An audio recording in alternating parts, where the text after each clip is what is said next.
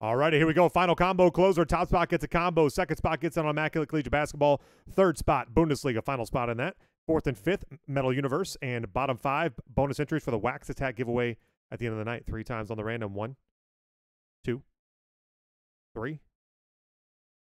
G. Spalding with the combo. So that is two metal. A tier one. Immaculate Collegiate. Mez, you're in on Immaculate and tier one.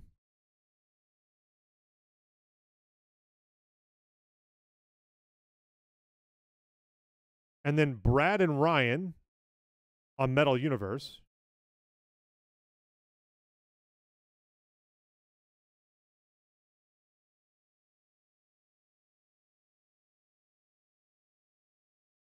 Bonus entries.